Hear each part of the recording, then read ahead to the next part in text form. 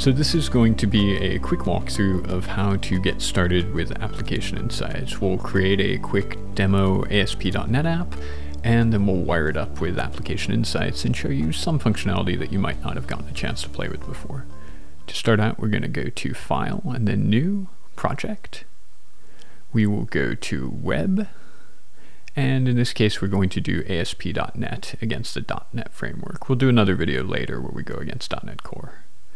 We're also going to check right here the add to source control, and that will become important later. Can name it whatever you want. For right now, I'm just going to go with the default name. Uh, we'll choose MVC, leave all the other defaults, and we'll click OK.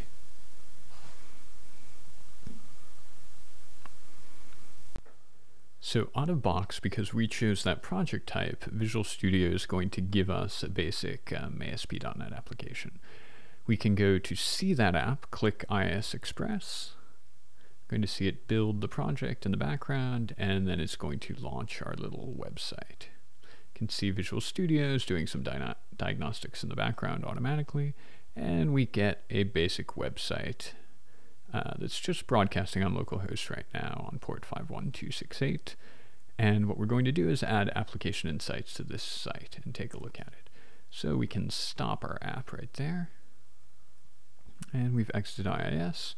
And so there's two ways right now to really easily wire this up with application insights. One, we can click the web application name and then say add, then go to application insights telemetry.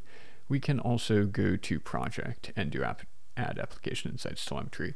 This does move around a bit uh, from version of Visual Studio to version of Visual Studio, so you may find that it's in a slightly different place, or as time goes on, they may change the labeling on this. But if you look for this little kind of purple light bulb, this is usually going to indicate App Insights for you.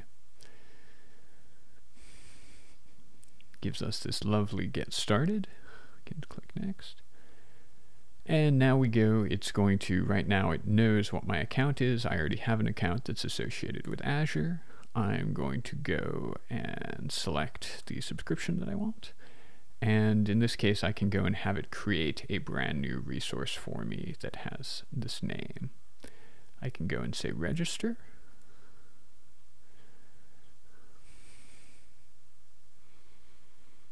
You can see a bunch of things being added over here on the right side, things happening in the background as it's going and adding application insights.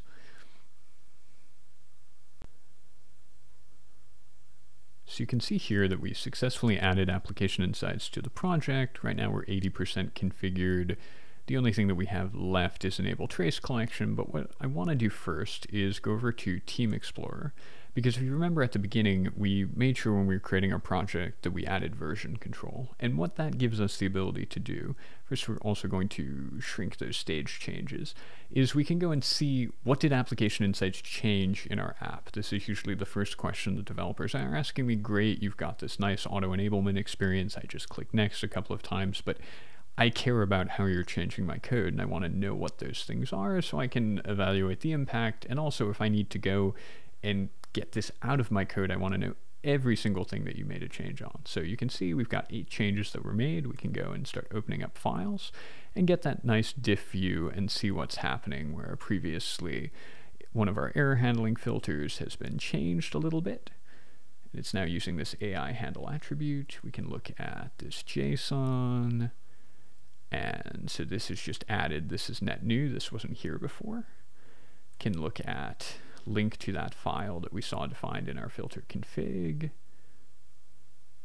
Looking at how kind of it's handling track exceptions and creating a telemetry client. You don't need to really care about the details too much here, but the nice thing is you can go through, look at each one of these, and see any of those individual changes that were happening. You can also see this is where an instrumentation key gets defined. So if you were doing this kind of the old fashioned way, you'd have to go out to Azure, say, create a new App Insights resource. It's going to give you an instrumentation key. You'd go copy it. You'd be putting it in this file. This is handling this for you. So right here is some client side JavaScript that's all nice and shrunk down so no one could actually read it, but in a nice, uh, useful form. You can read it, but obviously a little bit harder in that uh, particular format. And we'll look at application insights config This is a essentially just an XML file that's going in defining um, some of the things that are auto-loaded into Application Insights. This makes it an easy place to go in and add in overrides if you want to add in certain functionality. And we can also look at packages.config, any of the new package IDs that are now here that weren't here before check out the web.config file, can see as well some changes that occurred here. And again, it's good to look through these and kind of understand what's going on. For this, we're not going to walk through them one by one, but it's nice to know that this is where they are, and this is how you can go take a look. So what we can do from here, if we wanted, we could start our app back up. Give it a second to load. And so we're loaded back into our app. If we were to click around here, we're sending telemetry with each one of these clicks. It's seeing these requests. And if you were to look and go to our output here, um, you can see those telemetry items going across, each of them being created there, and it having a bunch of different information about uh, my local VM name, just scrolled by there, the SDK version that's sending this, any number of other pieces of information that we're sending along with those requests. What was the response of the website? So you can see there the about page, the index, and all just kind of nicely encapsulated and shipped off. To actually view any of this, uh, we could go straight to the Azure portal and find application insights. We can also should be able to go here and say open application insights portal.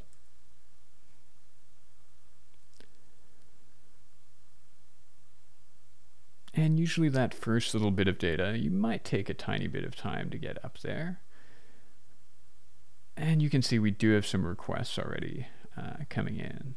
One of the things that I usually like to do is to, rather than having to kind of go back and forth to my application and click around, it can be nice to go and just copy this path. And we'll go into PowerShell really quick.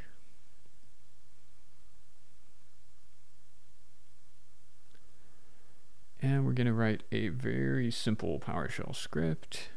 And all we're going to do is say, while true, and we're just going to create a little infinite loop of invoke web request and we can add a URI and we will paste in that and we're going to give it an HTTP and then we're going to let this run. And so this is just going to keep running for as long as I have it there because I've said that it's true and keep running while true. But the nice thing that this is going to do for us is one, if we go and take a look at the output, you could monitor it there. Um, but what I want to do is go to live metrics stream. And this is going to show me pretty much as close to real time as possible those requests coming in. Um, and if I was having to get, kind of hop back and forth, it doesn't really demonstrate it very well. But because we're just generating a bunch of kind of uh, nice test synthetic transactions, we get to start seeing those live metrics coming in. Uh, we can see the slightly varied request durations that are happening, the request rate, it's pretty static. We can also see that it's grabbing some things off my local uh, virtual machine. So it's how much memory is being used, how the CPU is doing as we're sending all these requests. Can also see the server name, how many requests per second, and see those same metrics from here summarized down there. But just a nice piece of functionality that we have um, that otherwise you might not have gotten to play around with as much.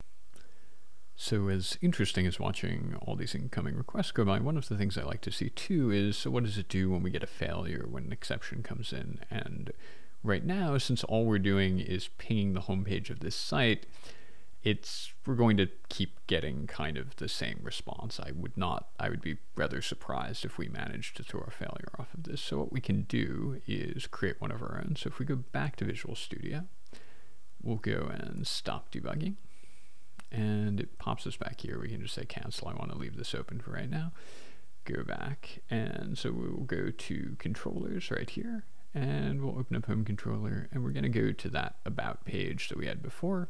So when we go and click about, it's going to go and take us to a page, but in our case, we're going to throw a little exception into the mix, and so we'll say throw a new exception, and we'll call it just test exception for right now.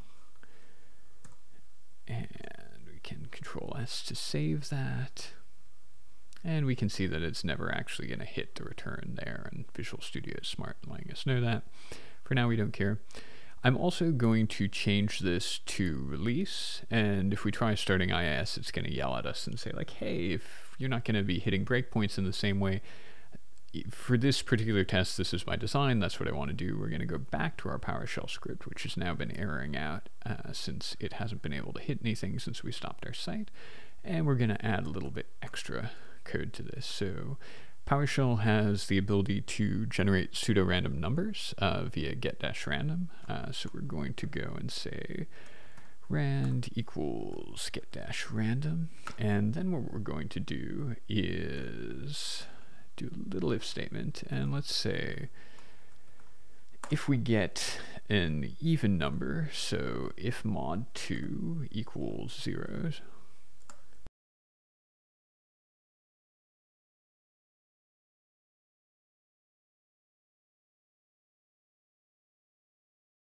we're going to go and invoke a different web request, very similar to the one we had before, but this one we'll grab here.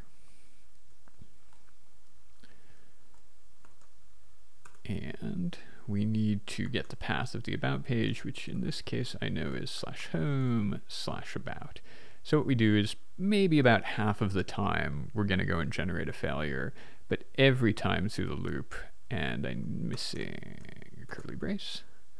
There we are. And that a little bit more clear.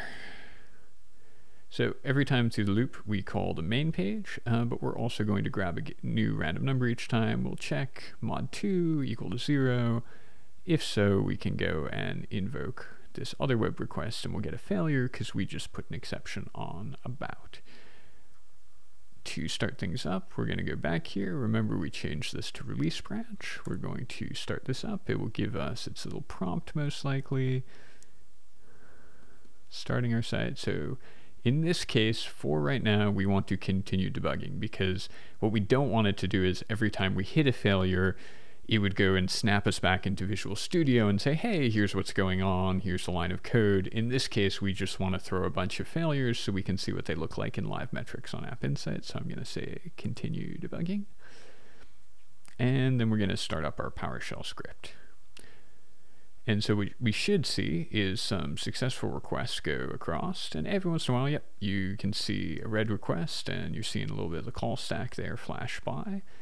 And so then if we go back to our live metric stream, we can now see we've got a request failure rate, uh, we've got the exception rate, and we can also see those failed requests coming in, some information about what that response code is, as well as down here we get a nice little call stack of what was happening and what we were seeing coming back, which would be the same thing as if you were to go and click here and go about, here's that same stack trace there.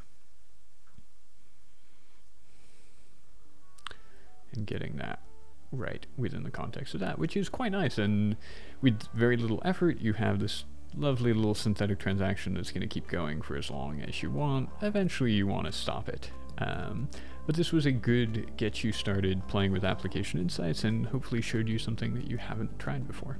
Thank you.